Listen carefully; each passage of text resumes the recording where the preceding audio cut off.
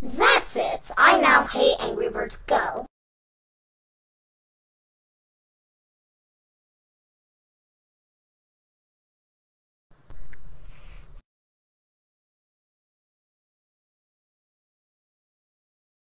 What? What's the problem? Do you mean do you mean the problem is that I now hate Angry Birds Go?